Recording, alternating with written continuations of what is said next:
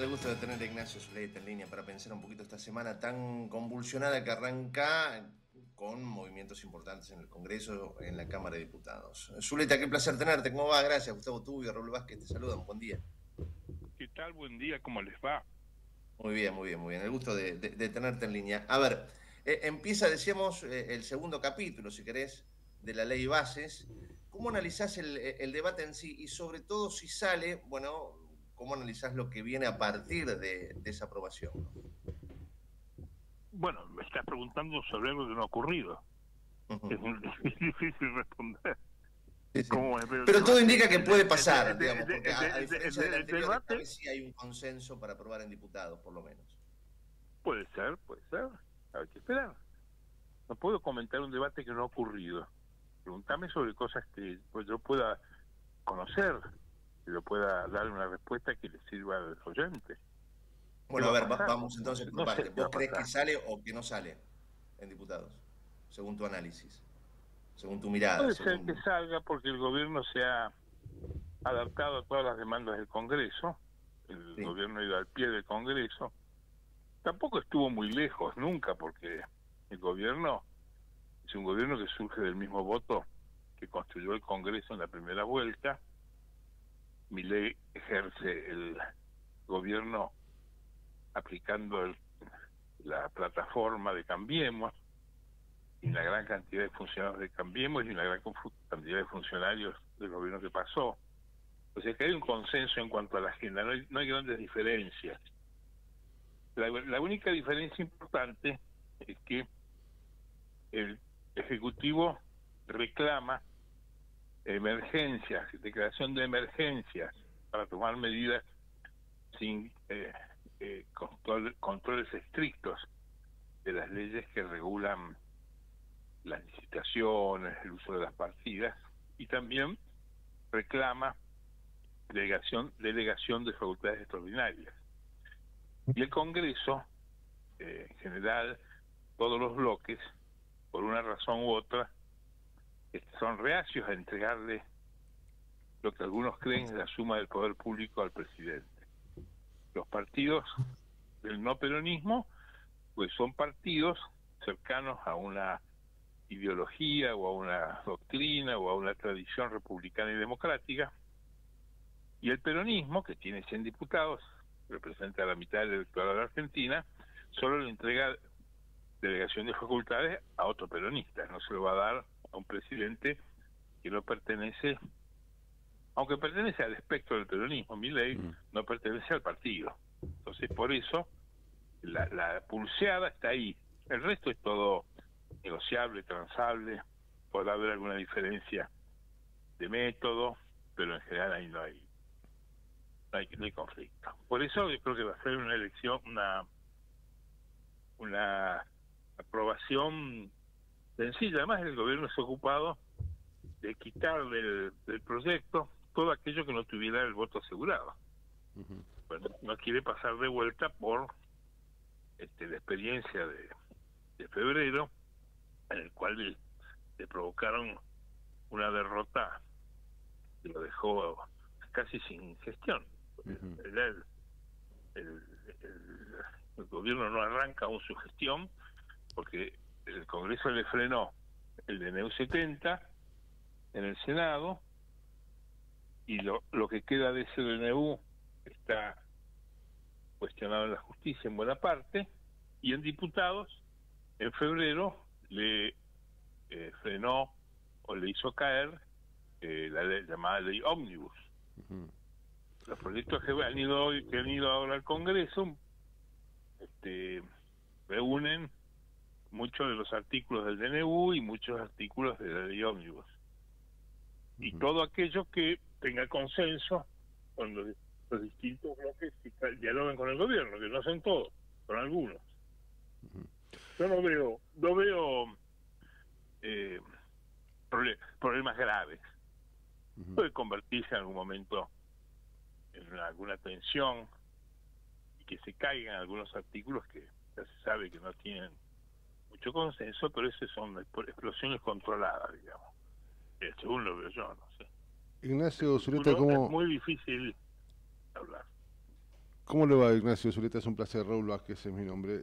Lo, escuchaba, muy bien, lo escuchaba y me ponía a pensar también eh, cómo estamos parados a veces quienes intentamos de alguna manera vivir o sobrevivir en este país. ¿no? Escuchamos el fin de semana la reaparición de, Cristina, que, emerge, digo yo, a partir de la ausencia de, de quienes están de ese lado de la grieta. Y al mismo tiempo estamos viviendo una Argentina donde su presidente, si se quiere, y haciendo un análisis este, rápido, asumió o accedió a la presidencia este, sin partido, mm, algunos dicen sin programa y otros también dicen que asumió hasta sin funcionarios.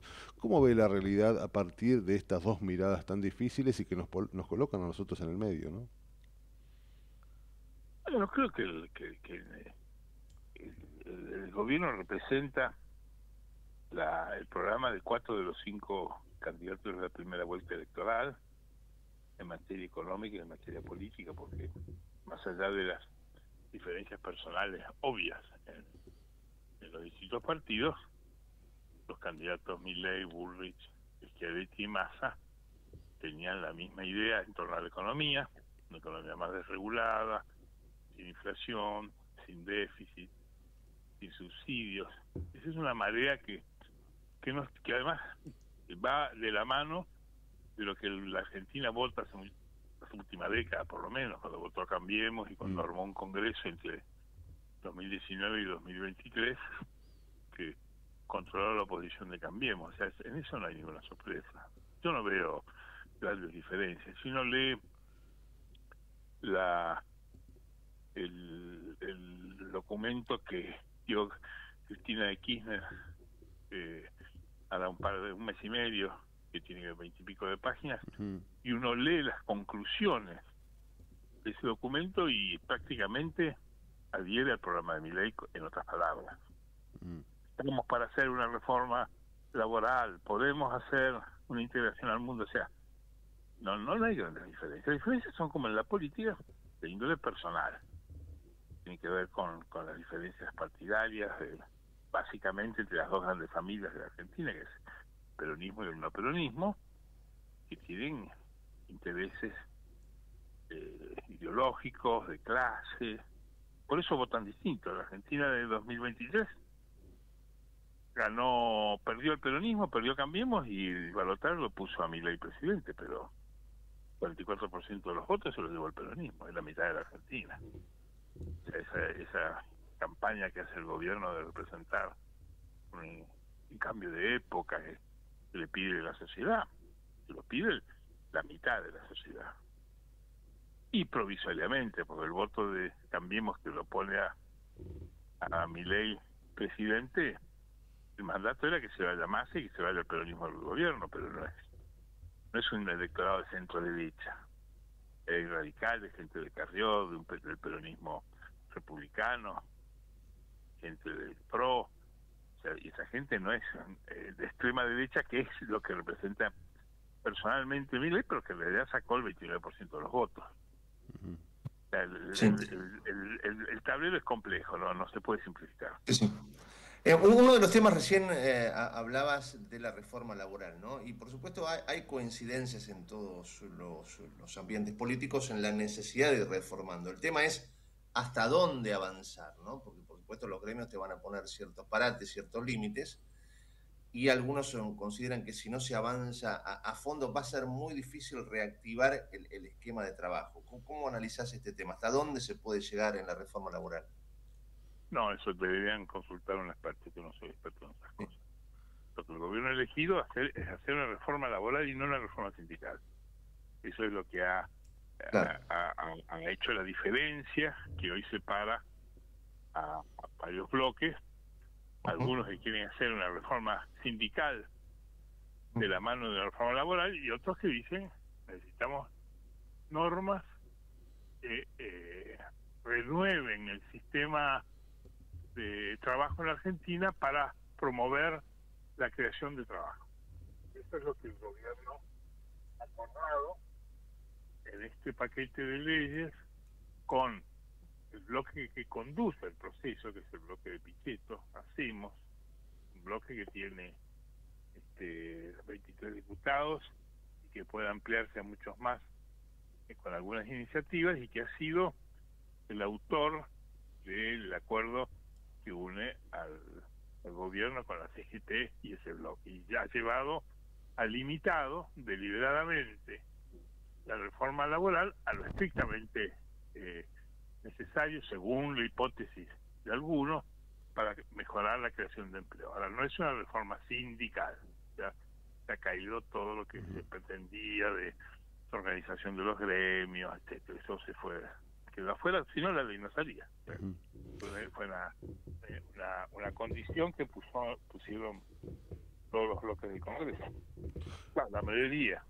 Uh hay, hay, una cuestión, lo, voy a sacar un poquito de eh, la política, tal vez lo llevo a algo más filosófico, no sé, pero tal vez también inclusive sirve para ver cuál es su pensamiento. Eh, hay una mirada, lo hablábamos recién con Gustavo, ¿no? hablando inclusive del caso de, de presidente de España, pero digo, pareciera ser que todo lo que hace la dirigencia política está mal visto o está este o es más complicado de aceptar o vaya a saber qué es lo que ocurre, pero tal vez mi ley es un emergente también de todo eso, de lo que en una de esas también sucede en el mundo.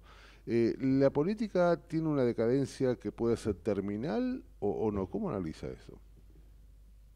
Bueno, ese es, una, es un tema complejo porque el tema político del occidente europeo son los países, nuestros países, este, es un sistema acuñado en, el siglo XVIII que se cristaliza en el siglo XIX en las, en las constituciones y que propone un sistema de gobierno de las sociedades.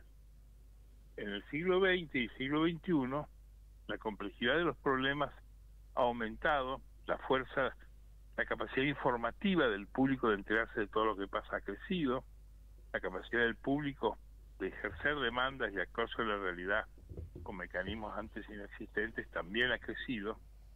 Entonces los gobiernos van por la escalera y las sociedades van por el ascensor. Mm.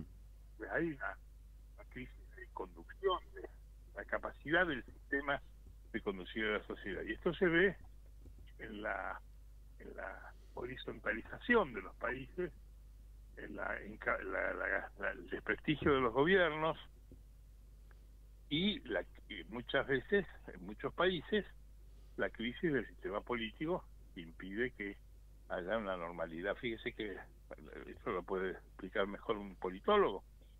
Y la mayoría de los países del occidente europeo son gobiernos que administran con medidas de excepción, con, con emergencias, con DNU, digamos, empezando por Estados Unidos, que tiene paralizada la designación de embajadores con cada gobierno porque el Senado no se los aprueba.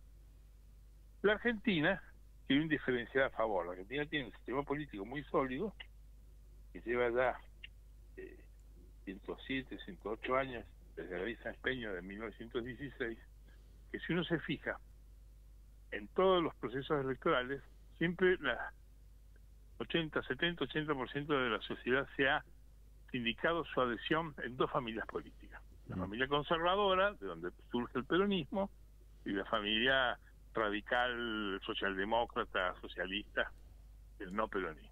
Esa, esas dos grandes familias aparecen en todos los resultados electorales del último siglo. Mm. Ha habido golpes, golpes blandos, golpes duros, largos, cortos, gobiernos autoritarios como los gobiernos peronistas, y siempre que la sociedad reseteó el sistema, vuelve a verse representada con eficacia la sociedad en esas grandes familias.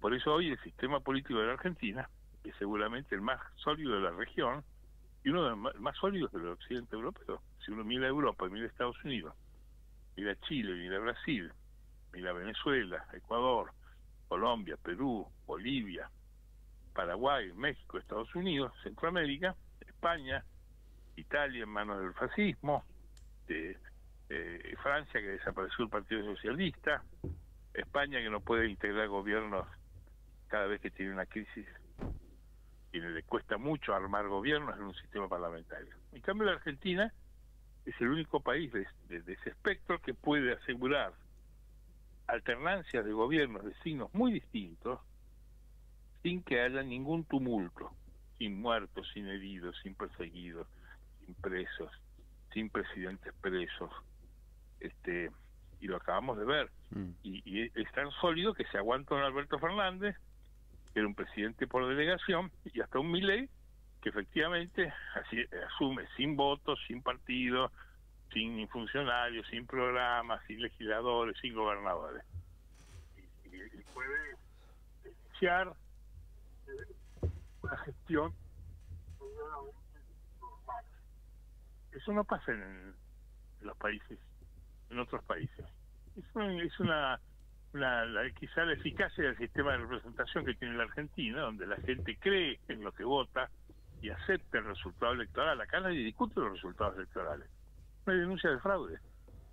Y las que hay son todas, este, diríamos, eh, sangrar por heridas. Y gente que se queja que le fue mal, pero si uno examina los resultados electorales, como hace la justicia, prácticamente no hay denuncias de fraude que prosperen en la justicia. Ahora, Ignacio, exacto. En este esquema que, plantea el presidente Milei de la confrontación permanente, ¿no? Como un esquema de poder, vos hablabas claramente de la debilidad natural de este gobierno.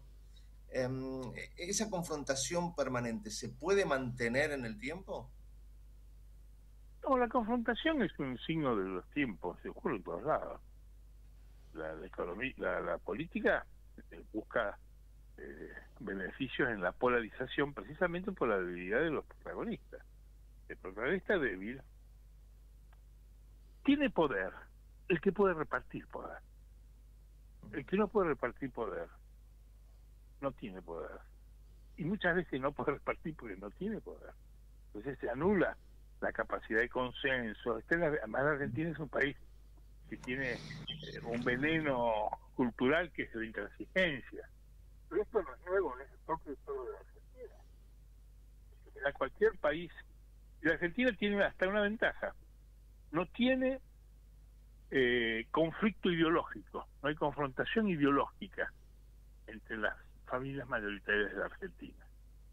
No hay una izquierda eh, mayoritariamente rabiosa, ni hay una derecha mayoritariamente rabiosa que esté representada electoralmente son este,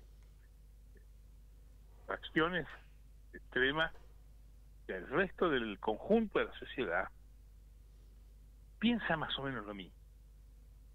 Piensa más o menos lo mismo. Es una ventaja que amortigua mucho la polarización está descrito como un veneno, como un mal del mundo contemporáneo.